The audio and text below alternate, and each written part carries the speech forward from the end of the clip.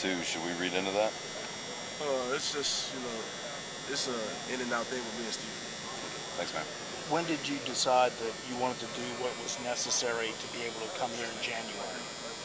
Um, maybe my junior year, my high, my high school coach Scott Burton, uh, Marion High School, uh, uh, run the idea up to me, and you know, me and my mom, my family talked about it, and we decided that was the best thing to do. Did he? What did he tell you would be the benefits of doing that?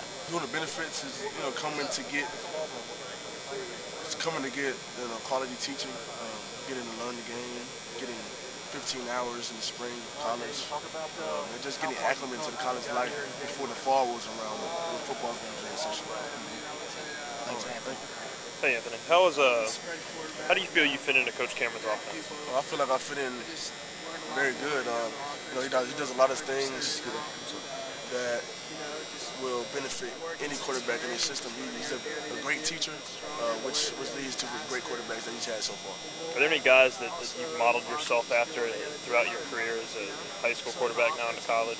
Oh, well, I, you know, I love uh, Russell Wilson's play. Uh, We only were, were he's a, allowed he's a very so much decisive to playmaker. see y'all, but it sure looked the other day he's like a very smart your individual. arm was and a lot I stronger. try to model myself had a lot after him grip and and able to hit the, the out try to be the, you know, the best I can. I mean, A lot of people were really impressed with your performance in is that something spring and in the spring game. you on a good What did you think of, of how you Or played? or do you Well, I think you played actually all have gotten There's a lot of things I can improve. on. stronger arm?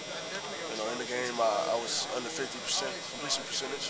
Um, and no turnovers is a good thing, but completion percentage, I didn't score. Uh, it's a lot of things I can improve on, and uh, it's, it was all right.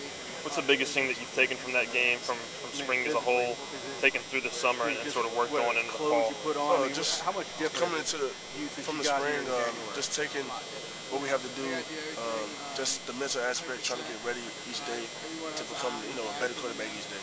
What kind of stuff you learned from Zach? Oh, Zach teaches me a lot of things, of reads, defenses, and sometimes we don't talk about football, we talk about other things. So he's a, he's a great friend.